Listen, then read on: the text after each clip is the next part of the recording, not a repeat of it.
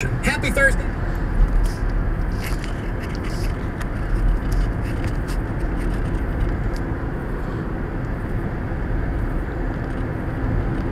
Estamos en Lehigh Acres. Esta es la entrada de Lehigh Acres. Lehigh Acres de las ciudades más nuevas de Southwest de la Florida. Lehigh tiene por ahí 150 mil habitantes. Está, eh, Lehigh está cerca de un aeropuerto internacional. Está cerca de la I-75. Está cerca a los centros comerciales. Eh, Lehigh está en un alto crecimiento. Mira, aquí montaron un todo dólar, aquí está montando otro negocio. O sea, hay un alto empuje de movimiento de, de casas, de negocios, de locales, porque hay un, crecimiento de construcción impresionante aquí en Lehigh. Ya empezó la construcción otra vez a, a funcionar. Ya empezaron a crecer los locales. Aquí en Lehigh se consiguen lotes de 6, 7, 8 mil dólares, lotes de un cuarto de acre.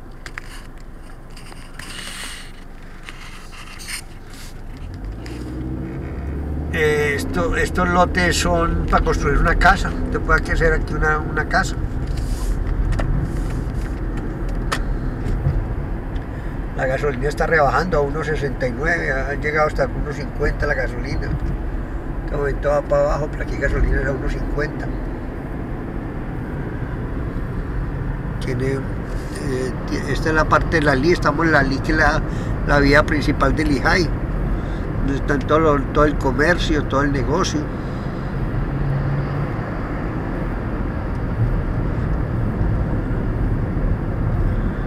Esta ciudad es una ciudad que, que es muy nueva, que, que, tuvo un problema porque hicieron muchas casas y esas casas las quitaron.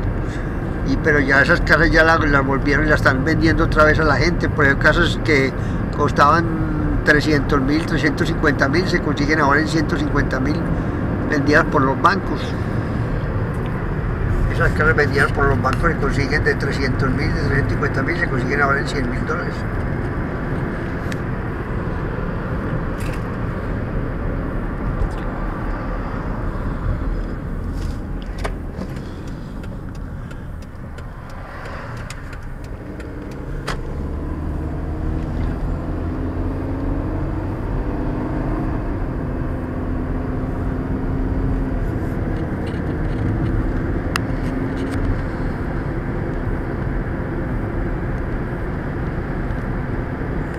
Lehigh está a dos horas de Miami, Lehigh está a hora y media de Tampa, está a dos horas y cuarto de Orlando, de los parques de Walt Disney.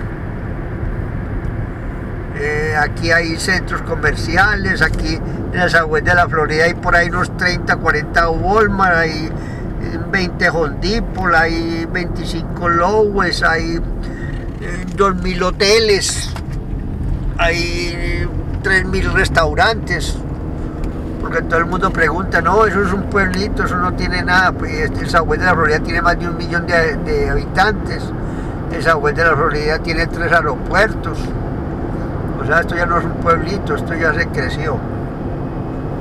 No es tan grande, tan grande como Miami Tampa, pero, pero es más pequeño, o sea, más pequeño, un millón de habitantes, pero también otra ventaja es que es mucho más seguro, más seguro, tiene mejor infraestructura, tiene mejor vías, eh, pagan más el trabajo, se paga más, aquí se consigue trabajo a mejor precio, ahora.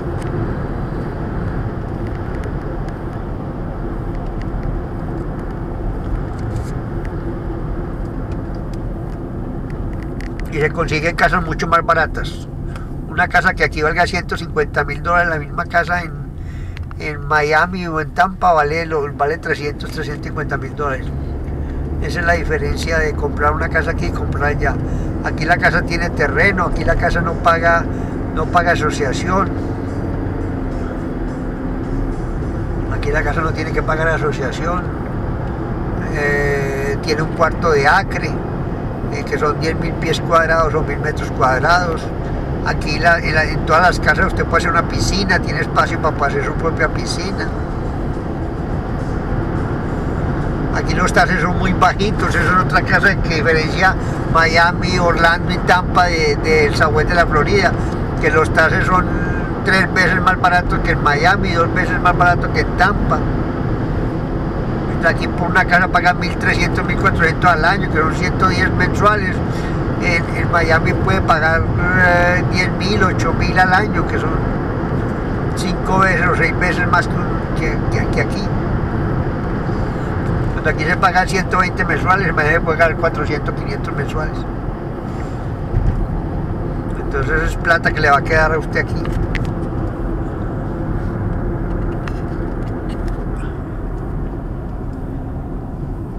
Esta, esta es una zona de alto crecimiento.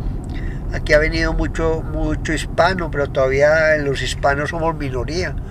Somos un 20, un 30% de la población. Todavía hay mucha población americana. Aquí en esta zona tiene la casa Billy Gay, tiene la casa de la familia Bush, tiene la casa de los millonarios de Estados Unidos, tienen su propia casa aquí, han construido aquí en esta zona por, lo tranquilo, por lo seguro. Aquí estamos en el Golfo de México, que son playas naturales, unas playas espectacularmente hermosas de 30, 40 millas, donde parece una piscina, o sea, no, no, no tiene ni olas. Y vamos a llegar a la, vía 75, y ahí está a 3 minutos de la 75, que es la vía más importante que tiene esta costa del Golfo de México, es la I-75.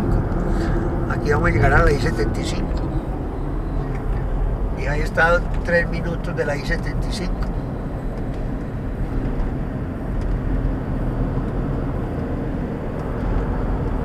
Esta es una venta de, de maquinaria agrícola del Lehigh.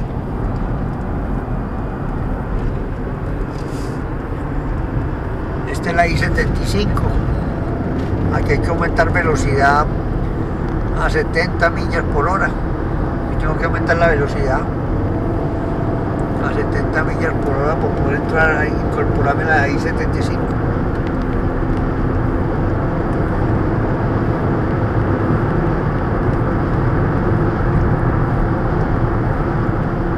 Estamos en la, en la salida 139